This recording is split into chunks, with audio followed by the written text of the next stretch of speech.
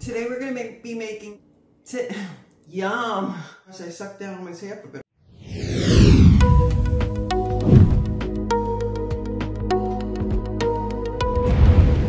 I have jicama that I had to use up. I already peeled that.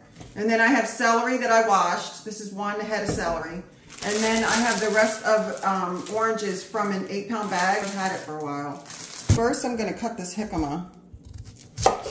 And you don't really have to cut it that small either because I'm gonna use, um, usually I always use the Nama J2. So there's minimal prep. You don't even have to cut it this small really. But uh, it's good to cut it uh, like, instead of putting the whole thing in there, I'm shaking the whole table, because then you could fit more inside the hopper.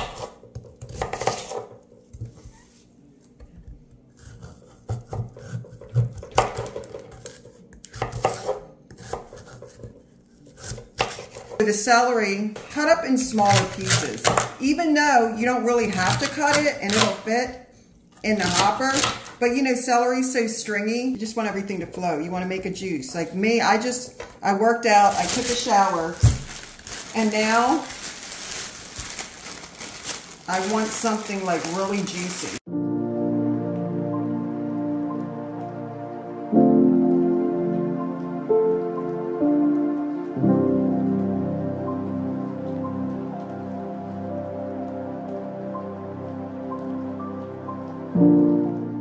One, two, three, four, five, six, seven, eight, nine, 10, 11 oranges.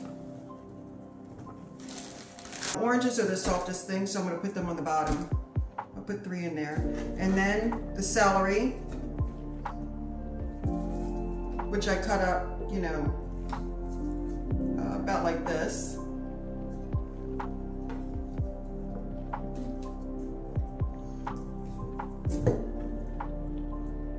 And then we have some jicama, two, uh, I would say kind of medium-ish jicamas. You close it up.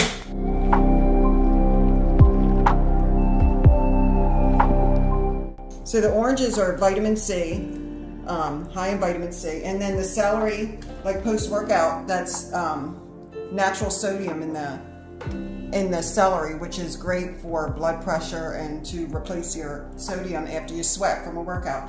Then the jicama, which is great for your gut, and it makes the juice, uh, it stretches the juice out, makes it really watery without just having concentrated sugars.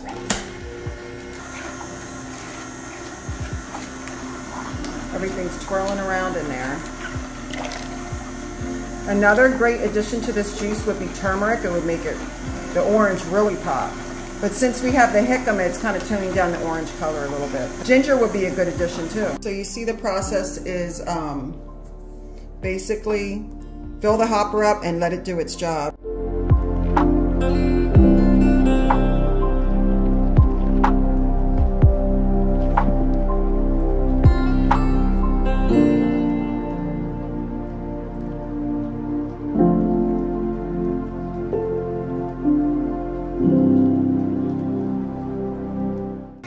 Stop the juicer. I'm gonna tilt it over because I want every drop.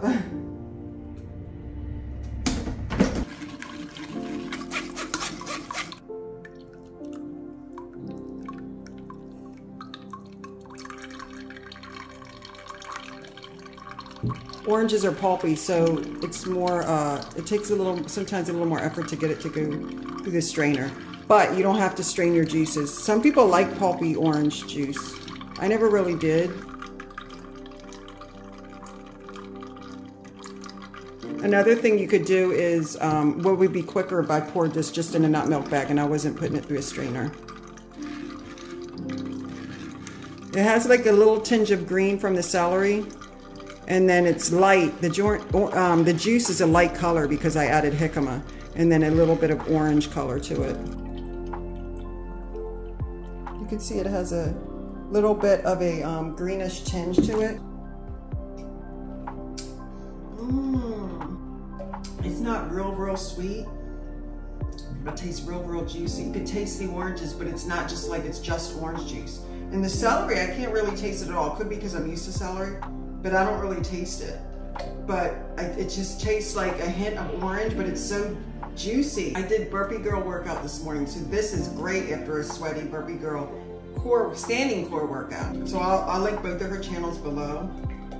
Mmm.